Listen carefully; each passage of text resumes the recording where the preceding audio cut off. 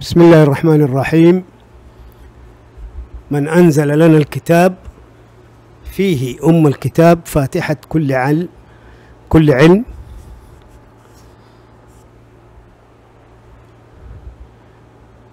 مشروع دراسة وقف استثمارات ممولة. هاشتاج دوام برنامج تعليمي. نذكر كيف تعلم الأجداد قبل ما يزيد عن مئة عام. كان التعليم ممول من المجتمع.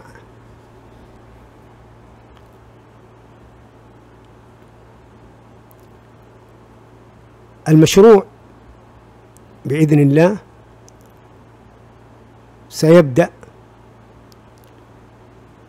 في التعليم الحديث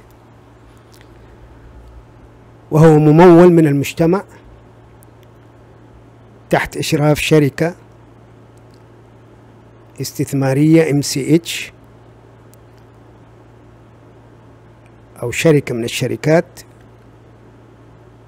المسجلة في مصر. ام سي اتش سمارت للتدريب. MCH Smart Training Company وقد اخترنا مركز أبو حماد لانطلاقة المشروع وهذا المشروع تحت مبادرة نما العالمية. أمامنا مركز أبو حماد وسنهتم إن شاء الله أيضا في الجرين.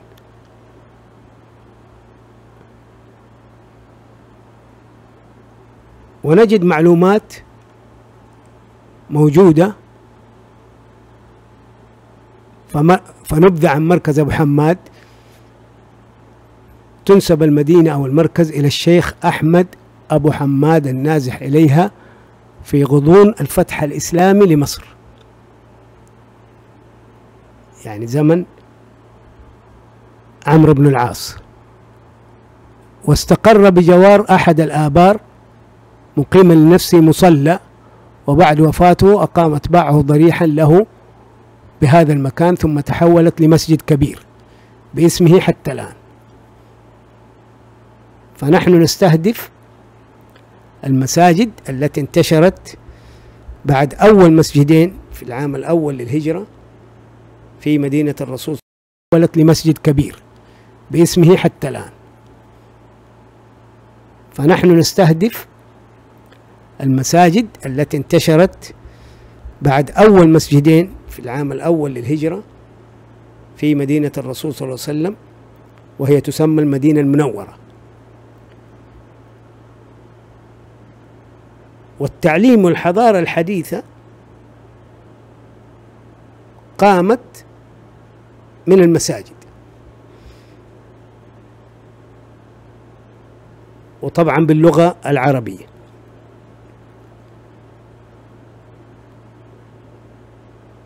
مشروع دوام للاستثمار في التعليم هو وقفي. والوقف المساجد وأيضا سنحيي أوقاف ما يسمى بأربطة دار أو دور العلم. يعني رباط آه الرباط هو مبنى سكني لأهل العلم لطلبة العلم. آه أو العلماء المدرسين. ومشروعنا يستهدف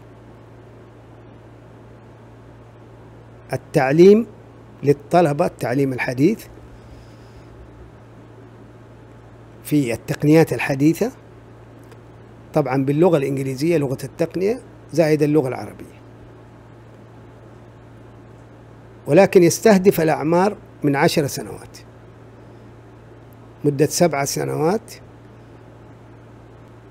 يتأهل لأن يكون معلم مثل ما بدأ التعليم. طبعا العلوم هي خمسة مواد. ساينس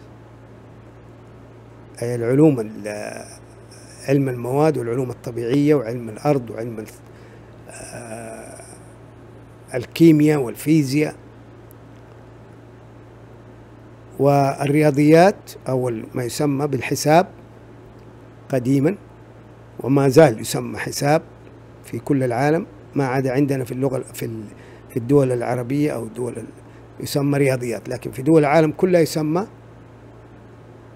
ماث حساب. وأيضا عندنا الآرت قسمين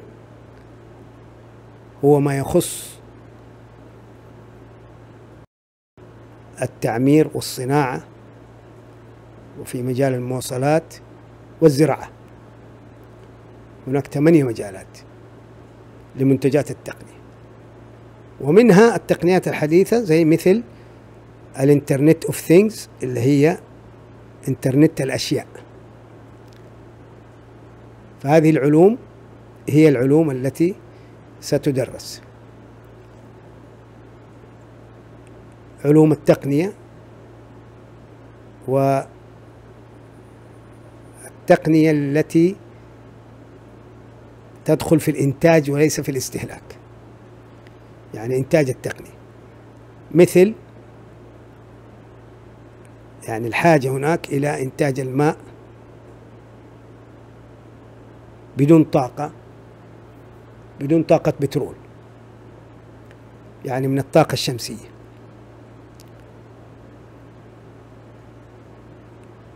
وأيضا إنتاج الهواء بدون طاقة من البترول أو إنتاج الهواء هواء التكييف للتبريد والتدفئة. في أماكن عمل الإنسان وسكن الإنسان وأيضا في الأربطة. طبعا الرباط مهم سكن للمعلمين والمعلمين دائما يدعموا من المجتمع.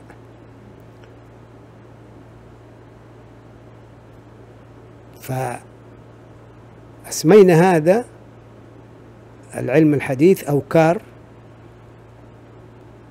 نسبة إلى كورونا افتر ريوايند يعني بعد الكورونا سيعود التعليم كما بدأ. كورونا حدثت 1920 2020 وسيعود التعليم لنقطة الصفر ريوايند أي كورونا تجب ما قبله.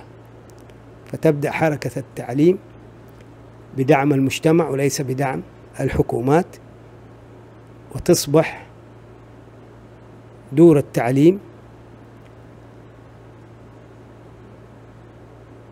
هي الأربطة الوقفية. يعني المعلمين يسكنوا بالمجان.